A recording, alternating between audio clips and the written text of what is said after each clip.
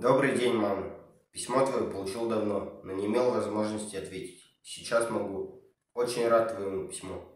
Мама, это письмо я всем показывал, потому что оно было первым твоим письмом.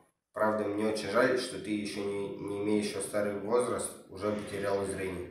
И это все итоги твоих переживаний. Ну, мама, это, это твое последнее переживание. Разубьем этих сволочей, и будет потом длительный мир. И ты сможешь в спокойствии пожить, а тебе еще надо жить много.